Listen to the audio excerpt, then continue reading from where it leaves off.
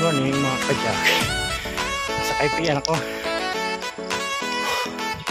going to Altarasa